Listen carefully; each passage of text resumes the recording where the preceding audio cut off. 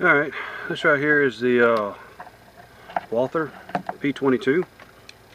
This one has the uh, adapter on the end to where you can uh, add a suppressor or a uh, flash hider or just basically anything you would want to be honest with you. Uh, the thread is one half by 28 and it also comes with another adapter to where you can remove this portion and install a basically a plug on the end of it. And then all you have is just a, a, a barrel. You have no thread sticking out the end of it or anything. Uh, you can also get extensions uh, 5 inch I think for like a 5 inch barrel extension. Uh, there's some uh, unique things about this gun uh, this right here is the magazine release it's ambidextrous either side. Uh, magazine holds uh, 10 rounds. Um, there's been some uh, stippling on the hand grips. It's it's a nice fit. I got pretty big hands, and you can see that without the grip in there, you know, there's my finger goes under, and there's a finger rest for the grip that you know kind of fills it out. And uh, I like the larger back strap. It comes with uh, extra back straps to uh, fit your hand. Uh, the safety is ambidextrous. Um, the hammer won't fall when you pull the trigger without the uh, clip in there. Um, this is your basically your, your takedown portion right here that you, you use to, to get the gun in a you know in the right position and you pull that part down and uh, you can actually pull the gun take the slide off. I'm not going to do that right now. There's enough videos on the internet that shows uh, how to do that. Uh, there's a lot of lot of bad hype about this gun. Uh, I've shot a lot of rounds through here and had no problems. Uh, shooting Remingtons. Uh, I haven't tried any Federals yet, but I intend to try some. Uh, it's some issues about it not going back into battery. In which case, if you look right here, this is your magazine release. And a lot of people tend to hold a gun with their thumb in that position. And in doing so, you're blocking the gun from going back into battery. Uh, so you have to you have to basically run your thumb straight along and underneath there's a little ledge for you to mount your thumb and, and get used to, to holding the gun that way. Uh, some other people cite that the slide drags back here on the uh, hammer and it does. Uh, right there it's touching. I'm over the, the hump. Um, and people have cited that this keeps the gun from going back into to battery and, and I cannot make this gun do that. No matter how slowly I let it forward it still it just it just it comes over the hump. I can't make it do that. So I'm sure that those who have uh, have cited this as an issue were honest. I mean, but I just I, I can't make this gun do it. I've got I've got uh, seven of these all together. Uh, they're on my website www.customshooter.com uh, and uh, they fit and function quite well. Uh, I haven't had any hang-ups. I haven't had any misfires. I haven't had any uh, any issues whatsoever with the gun. Uh, it's, it's, it's been a great gun. Uh, people talk about there being an issue with the, the clips, which, uh, you know, from the magazine is a staggered magazine, by the way. Uh, empty magazine. But it's designed so that when this comes all the way down to here, which is kind of hard to do without pushing the plunger down, but this right here can actually pop out. That's part of the disassembly of the clip.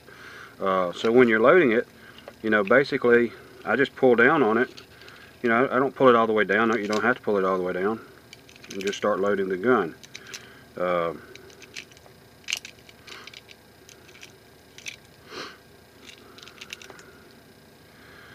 and like I said, it does hold uh, 10 rounds, 11 if you put one in the chamber, which I always do. And if you'll notice, the last round is in, and it's not I don't know if you can tell, but it's not pushed all the way down.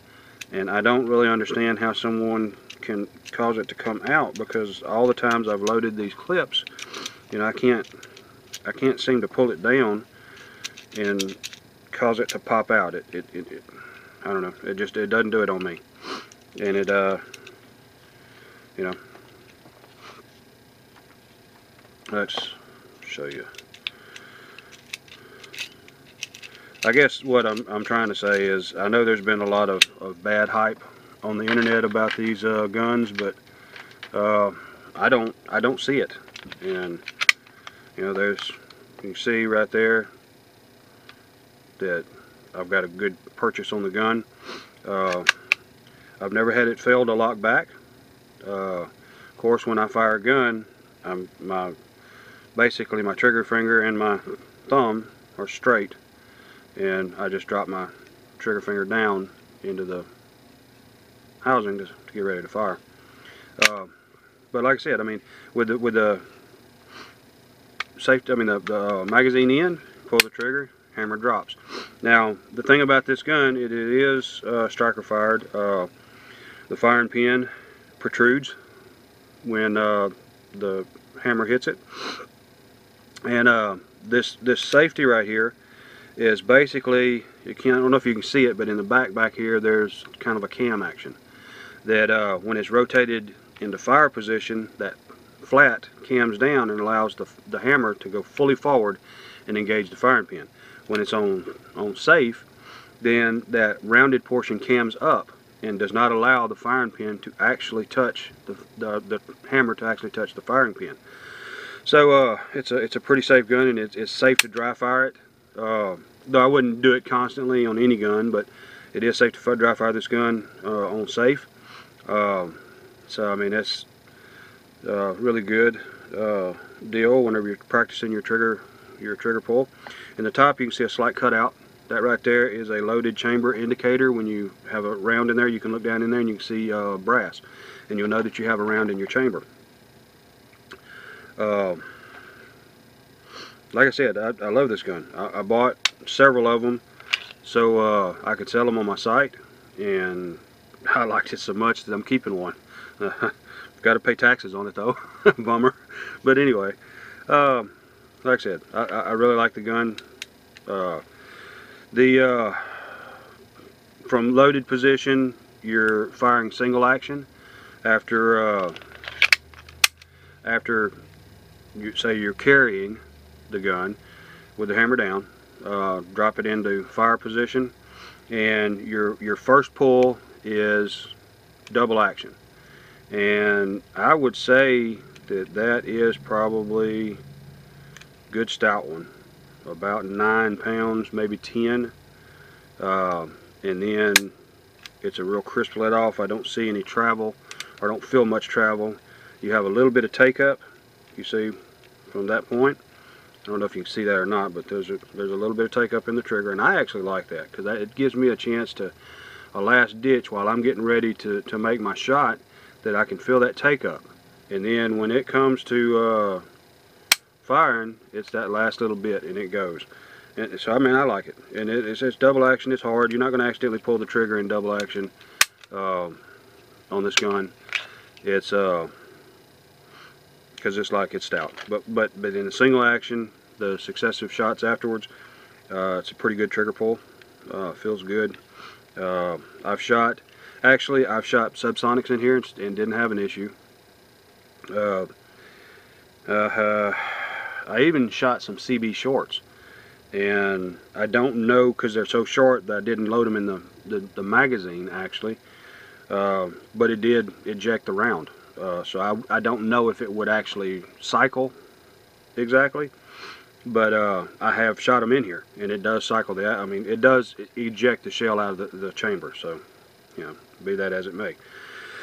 Anyway like I said I, I haven't had any issues with them uh, I've shot a lot of rounds out of this gun and I like it and I'm gonna keep it. And uh, if you would like to have one go visit www.customshooter.com thank you and God bless